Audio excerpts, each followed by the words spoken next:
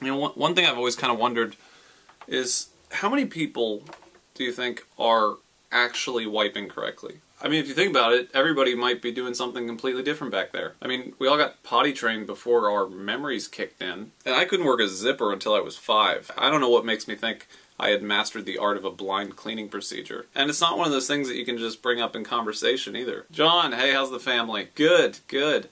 Let me ask you this. How do you wipe? So, you know, as I do with all questions I have relating to shitting, I asked my girlfriend, and get this.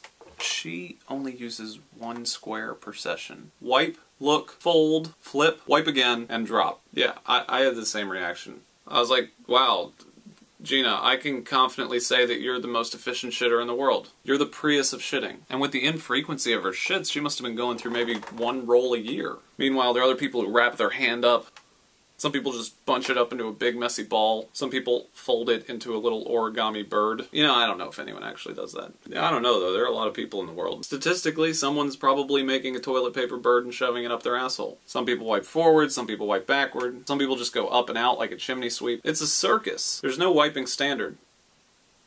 And technologically, how far are we away from butt tampons?